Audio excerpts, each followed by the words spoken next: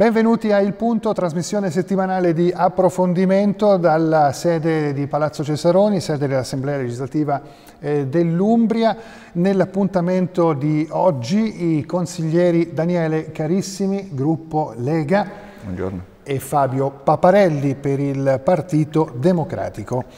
Eh, questa occasione, cioè avere eh, Paparelli e Carissimi nella medesima trasmissione, mi dà lo spunto per una domanda che non potrei fare con la stessa precisione in altre occasioni. Una domanda sulla Commissione Statuto, di cui Daniele Carissimi è presidente, che ha iniziato da poco i suoi lavori, una delle commissioni forse meno conosciute dal pubblico e siccome la nostra trasmissione è anche questo, approfondimento per far capire di più alcune cose che vengono trattate magari in maniera più veloce nell'ordinarietà, nella quotidianità, eh, chiedo subito, eh, per iniziare, per rompere il ghiaccio, perché si dice che poi le riforme politiche sono argomenti che non interessano le persone comuni, io credo invece di no, che la gente sia attenta a quelle che sono le riforme, a come potrà cambiare la legge elettorale e a come, ce lo dica lei Presidente carissimi, eh, ci possono essere delle novità statutarie, di regolamento o anche di legge elettorale. Qual è il suo programma per eh, questa commissione speciale? Speciale del Consiglio?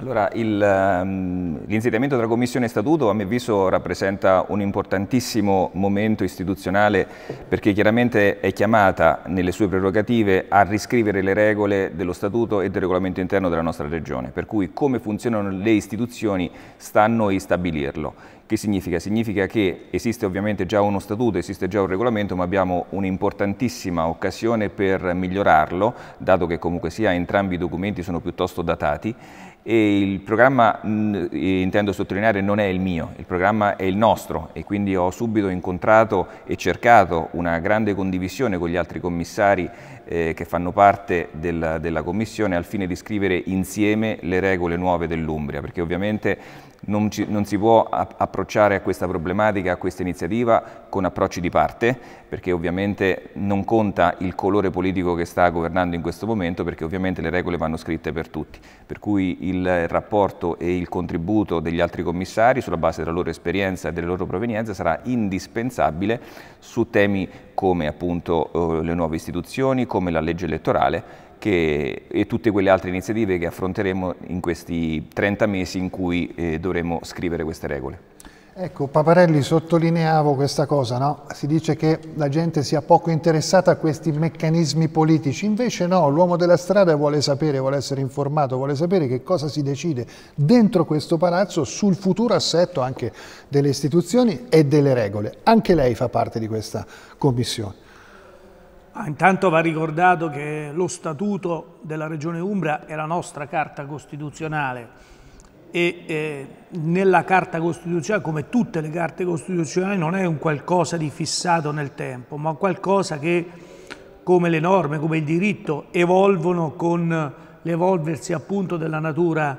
dei, dei, diritti, delle necessità, dei bisogni di una comunità eh, che cambiano e quale occasione migliore che il cinquantesimo della regione, quale ricorre quest'anno, dopo 50 anni, credo che sia necessario, anche doveroso, provare a fare insieme, a riscrivere insieme alcune eh, pagine, non solo regolamentari, ma anche che riguardano appunto i principi fondanti della nostra regione. Penso a nuovi diritti che si sono affacciati in questi anni, come quello all'ambiente, alla sostenibilità, il diritto alla connessione, alla rete, ad essere diciamo, parte di questa, rete, di questa rete globale, quindi a migliorare le cose nell'interesse della comunità. E quindi tutto quello che andrà in questa direzione vedrà il nostro sostegno eh, e il contributo diciamo, alle modifiche siano esse regolamentari, siano esse eh, statutarie, tra virgolette costituzionali,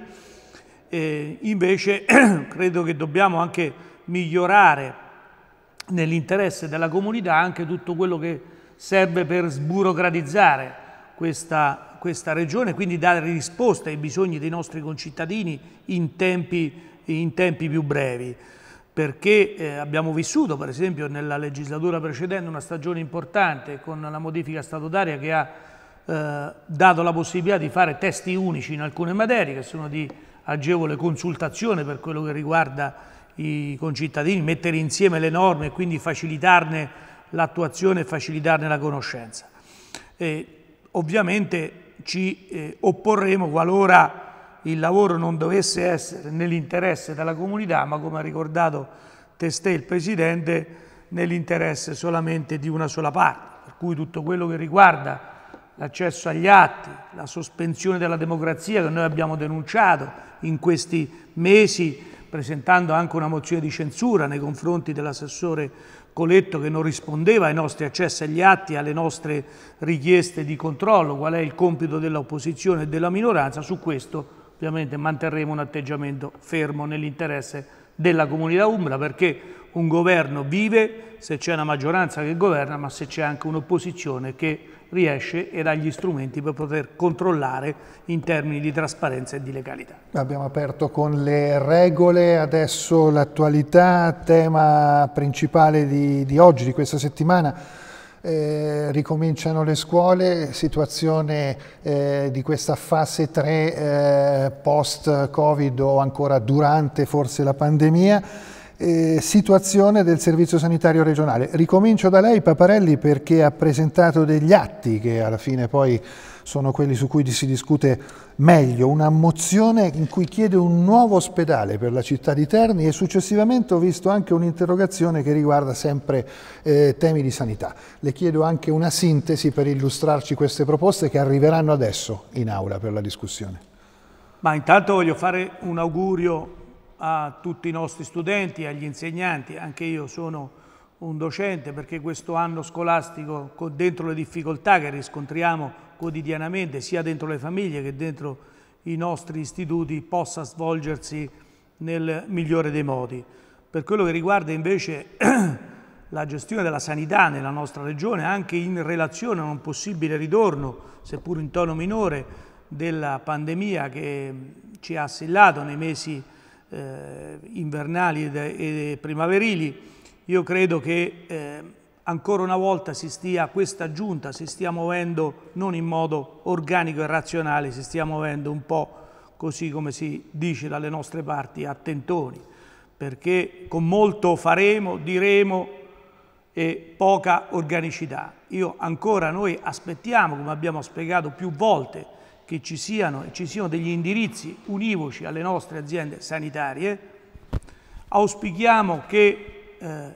quanto annunciato in termini di eh, capacità di isolamento delle persone afflitte da, da Covid, perché l'isolamento domiciliare abbiamo visto che comporta eh, qualche eh, disagio, anzi molti disagi. Abbiamo insomma fatto una serie di cose annunciate e rispetto a queste non vediamo passi avanti. Abbiamo visto anzi qualche passo indietro che io ho denunciato sulla vicenda dell'ospedale di Terni, che mi pare che eh, durante la discussione in Consiglio regionale eh, quando abbiamo approvato l'atto con cui abbiamo utilizzato i fondi del governo per eh, migliorare le condizioni per affrontare del sistema sanitario regionale per affrontare il tema Covid, in quell'occasione a me pare che la maggioranza abbia scelto, e qui ci sono dei dati certi, l'ospedale di Terni come l'ospedale di riferimento per il Covid, con grave documento non solo per i cittadini, ma per lo stesso sistema sanitario regionale, perché ampliare, come si sta facendo in questi giorni con i lavori,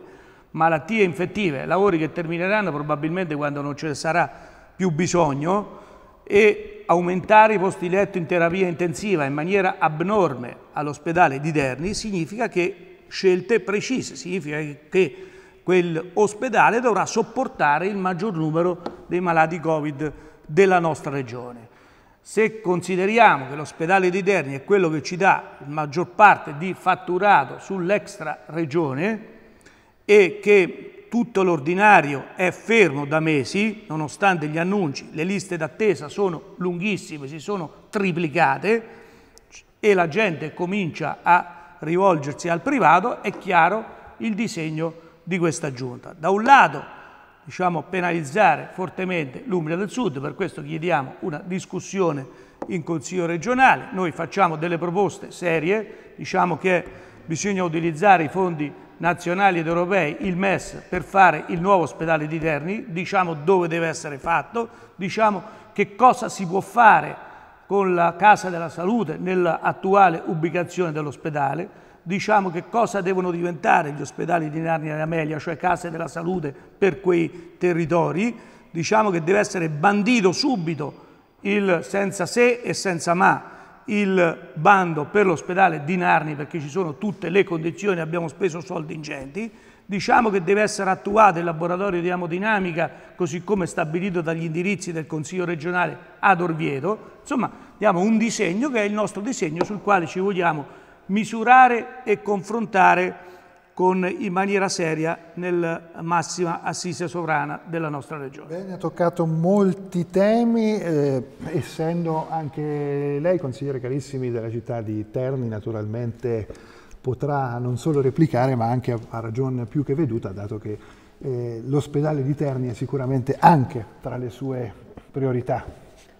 Senz'altro ritengo che la partita della sanità sia forse la più importante che occupa la nostra regione. E, ehm, ovviamente non possiamo dimenticare che siamo in piena pandemia, per cui abbiamo forse e speriamo di aver passato il momento più acuto, stiamo sperando che questo, questa problematica non si riaccenda così come è stato nel, in precedenza. Con ciò a dire che chiaramente tutte eh, le inevitabili decisioni che, che connesse al piano sanitario che sarà oggetto dei prossimi mesi di lavoro e oggetto anche degli scorsi, perché so ovviamente che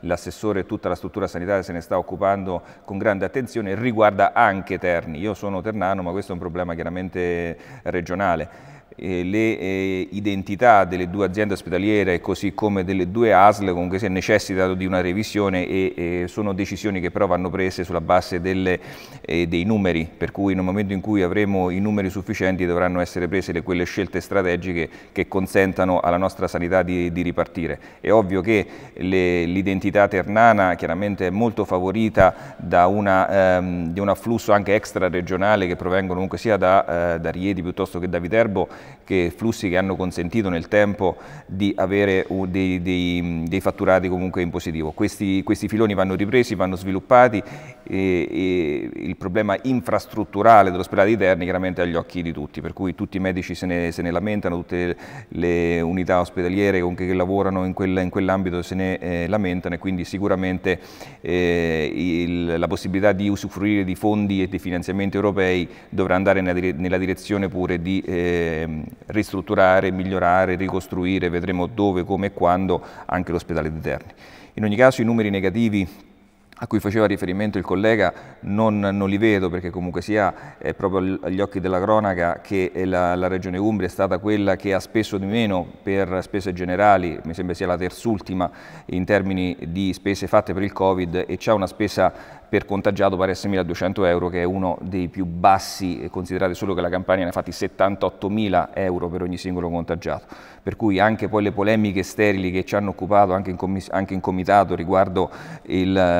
l'acquisto dei test sierologici piuttosto che dell'ospedale da campo è agli occhi di tutti e della cronaca attuale che invece le scelte fatte dalla nostra amministrazione si sono rivelate assolutamente vincenti e soprattutto economiche di cambiare argomento, eh, sulla sanità vedo che c'è anche un atto che porta la sua firma, una mozione che riguarda l'elisoccorso. In che cosa si vorrebbe modificare? La, Regione Umbria, eh, insieme alla, Regione Molise, è l'unica che non ha un proprio elicottero dedicato. Nostro, oh, I nostri interventi in cui è necessario eh, l'intervento dell'elisoccorso eh, proviene da, eh, da Fabriano quindi eh, la Regione Umbria ha una convenzione con la Regione Marche per la quale paga dal 2014 circa 2 milioni all'anno. Eh, ritengo che alla luce del, dei, dei, conti, perché ovviamente ogni singolo intervento ovviamente, eh, corrisponde a, un, a, una spesa troppo elevata rispetto a quello che spendono le altre regioni, potrebbe consentirci eh, di avere un elisoccorso eh, dedicato da, nella nostra regione che, che, consenta ovviamente ai nostri malati, a coloro che hanno bisogno di intervento, dei tempi di soccorso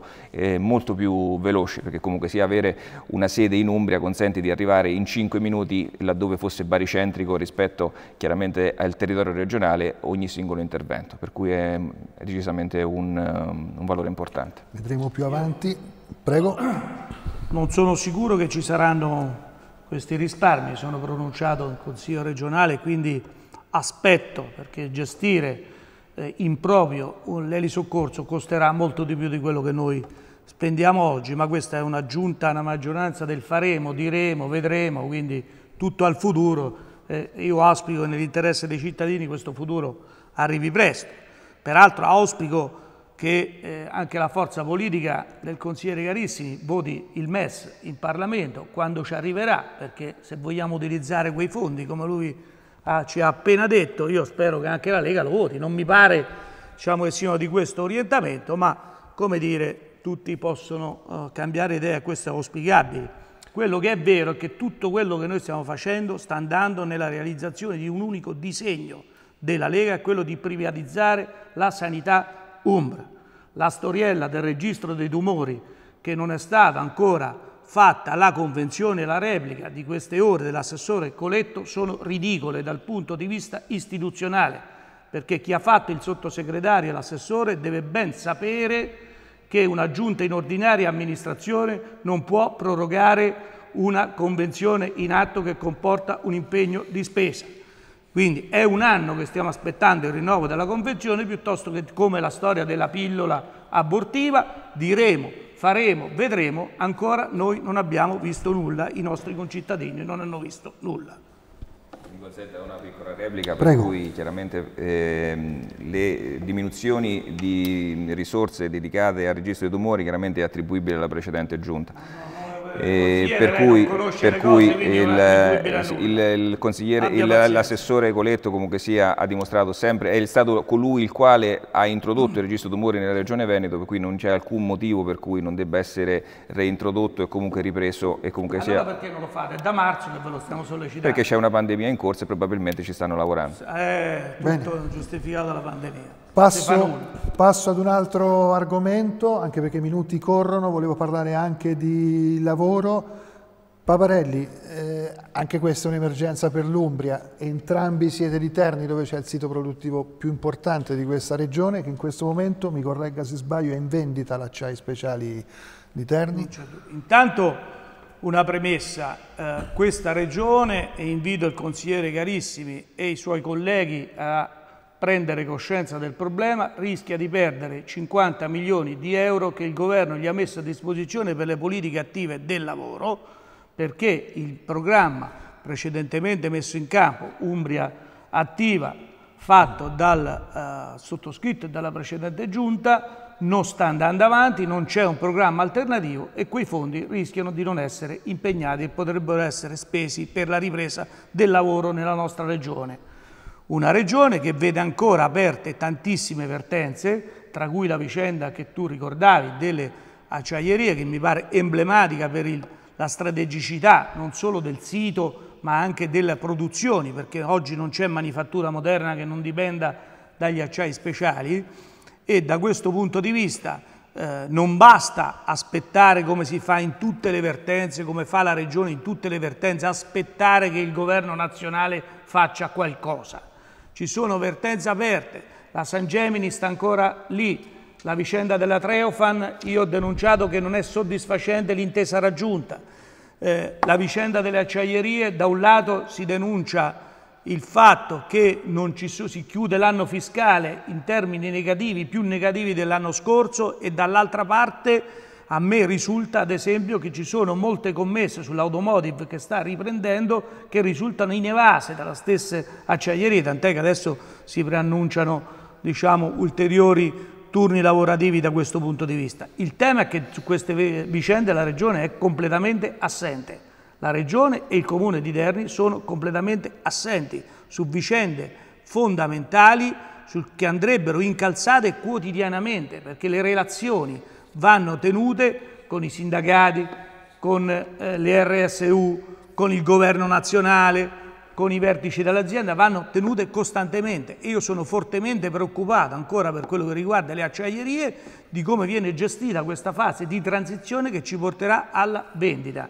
Perché nella fase di transizione c'è il tema della sicurezza sul lavoro, c'è il tema del possibile acquirente e su questo noi dobbiamo essere protagonisti, lo siamo sempre stati nel, in passato e possiamo esserlo anche questa volta purché siamo uniti e ci sia davvero una volontà di fare le cose. Replica del consigliere Carissimi su questi temi, su economia e lavoro. Chiaramente il problema del lavoro è principale, e ovviamente il problema de, dell'AST eh, subisce a mio avviso una, una situazione eh, extraterritoriale, cioè non è un problema chiaramente regionale ma un problema di eh, produttività e competitività internazionale a cui ovviamente eh, l'azienda ternana è costretta a subire le conseguenze. Questo significa che la Regione inevitabilmente deve essere attenta, ma su, su Ast piuttosto che su Treofano, su San Gemini, su ogni tavolo aperto, che sono tavoli peraltro che non si sono aperti solo in questi ultimi mesi, ma sono tavoli purtroppo che prevedono una difficoltà aziendale che procede da diversi mesi, per cui non ritengo che sia attribuibile né all'una né all'altro schieramento politico, anche perché sono un liberista e quindi ritengo che l'intervento della politica nell'economia debba essere sempre piuttosto marginale. È giusta l'interlocuzione nei confronti dei sindacati, nei confronti dei lavoratori per mantenere i livelli occupazionali, è giusto mantenere l'attenzione estremamente alta e i tavoli effettivi, quindi in cui si decida realmente qualcosa e si controlli le decisioni che vengono prese, ma sono uno che sostiene che i piani industriali devono essere fatti dalle aziende, per cui le, le istituzioni devono limitarsi a controllare che questi impegni siano rispettati e i, e i lavoratori garantiti. È ovvio che chiaramente, torno sempre lì, il fatto che ci sia stata una pandemia in corso che abbia ovviamente eh, abbattuto le, le, assunzioni, che abbia abbattuto la produttività e che, e che, per fortuna la legge ha previsto il divieto di licenziamento, è ovvio che il, il sistema lavoro ovviamente subisce inevitabilmente le conseguenze. Speriamo che il contraccolpo di questa pandemia, questo rimbalzo, così come lo abbiamo visto fortunatamente eh, nell'ambito del, del turismo in quest'estate, immagino che ne parleremo tra poco, tuttavia possa riprendere anche per il manifatturiero per il settore primario e, e, e, riesca per quello terziario che più di tutti ha subito le conseguenze a ripartire e rilanciarsi eh, per rivedere l'Umbria, risalire un po' la classifica in cui purtroppo è costretta. Sì, consiglieri carissimi, visto che siamo in aula diciamo che il turismo è l'ultimo punto all'ordine del giorno perché rimangono due minuti, per, eh, due minuti ciascuno. Allora, il turismo. Il turismo è, è, è, in crisi ovunque, eppure eh, abbiamo gli occhi per vedere, in Umbria tanti turisti sono arrivati, quindi ci sono anche prospettive. Che cosa prevede per il futuro? Cosa, dove si deve lavorare?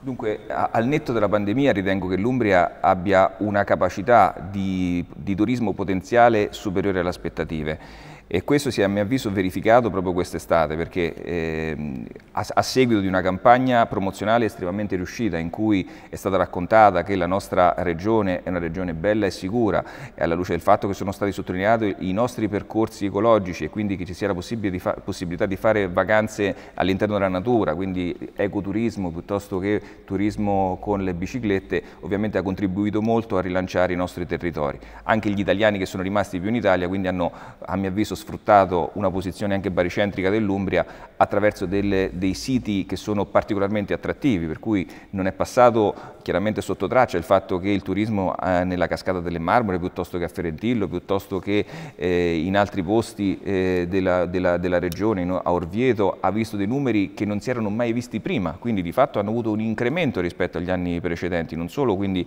una ripresa. È ovvio che con la, eh, il blocco totale per tre mesi in cui ha visto invece il settore dell'Oreca, quindi del, del, hotel piuttosto che della ristorazione, completamente azzerato perché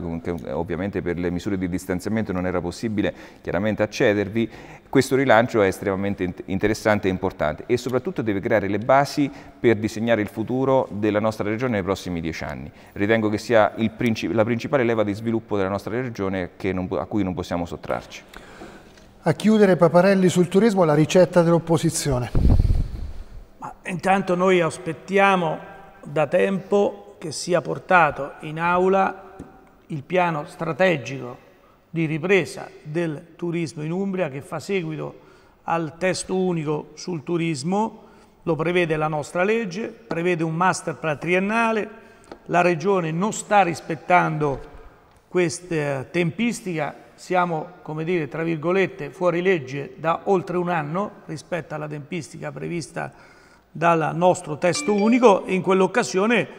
è l'occasione per discutere diciamo, del turismo dopo Covid. Il master plan triennale serve a questo, a programmare. Qui stiamo andando avanti con campagne di promozione turistica che sono state nella più netta continuità con quanto abbiamo fatto in passato, eh, per carità. Io non credo che il tema della sicurezza abbia inciso sui flussi turistici perché in Italia i flussi turistici sono tutti aumentati, invito a guardare, sono aumentati i flussi turistici infraregionali, cioè io conosco tantissime persone che hanno scelto di spostarsi affittando case vacanze dalla città in campagna per stare un po' più tranquilli con i figli e poter stare all'aperto. Non è questo il turismo diciamo, che la nostra regione aspetta. E quindi avere, come dire, vedere che in agosto sono aumentati i flussi diciamo, mi pare un po' come dire, riduttivo rispetto a una visione strategica che tutti auspichiamo. E il Consiglio deve discutere, è nell'interesse di tutti e del settore turistico che sia portato in aula questo piano strategico per il commissionamento del quale sono stati spesi già decine di migliaia di euro e del quale dobbiamo avere e vedere un risultato, una prospettiva, una prospettiva che ovviamente deve fare i conti con quello che è accaduto, in questo settore, un settore che ancora per almeno per questa stagione autunnale, invernale, avrà bisogno di sostegno, di sostenere i lavoratori stagionali che sono usciti dal ciclo produttivo, rischiano di uscire dal ciclo produttivo e da quello occupazionale, di sostenere le imprese che rischiano di chiudere perché è illusorio pensare che questo sistema possa riprendersi con i flussi turistici che non ci saranno e sono molto deboli. Da questo punto di vista noi invece non abbiamo visto mettere in campo misure di sostegno adeguate al lavoro e alle imprese da parte della Regione. A oggi tutti i fondi annunciati e impegnati, solo qualche decina di aziende ha avuto qualche contributo in tutti i settori. Insomma, credo che si possa e si debba fare molto di più. Io apprezzo consigliere Carissimi che spesso va anche contro tendenza, gli ricordo però che fa parte di un partito che non la pensa come lei spesso annuncia. Lei si dice liberista anche nel settore dell'economia e del turismo, l'onorevole Saltamartini in Commissione Attività Produttive presenta l'emendamento per, quasi per nazionalizzare le acciaierie. Fare, cioè, quindi mettetevi un pochino d'accordo che forse diciamo, avremo qualche risultato migliore da questo punto di vista. Ultimo minuto per l'ultima replica, consigliere Carissimi, prego. Ma eh, a prescindere dal, dal dibattito politico e eh, della dialettica, l'emendamento che ricordo dell'onorevole Saltamartini riguardava una difesa protezionistica delle, delle, imprese italiane, per cui a prescindere da questo che mi interessa poco, mi interessano i fatti, per cui l'importante è ripartire con il piede giusto, con l'aiuto sia della parte governativa ma soprattutto anche dell'opposizione, per cui ritengo che quando le cose si fanno insieme si riescono a farle meglio. Bene, e su questo possiamo dire che è conclusa la puntata di oggi. Ringrazio il consigliere Daniele Carissimi, gruppo Lega, il consigliere Fabio Paparelli, Partito Democratico, per aver animato eh, la trasmissione di oggi. Appuntamento con eh, voi telespettatori o internauti che sia. Alla prossima settimana.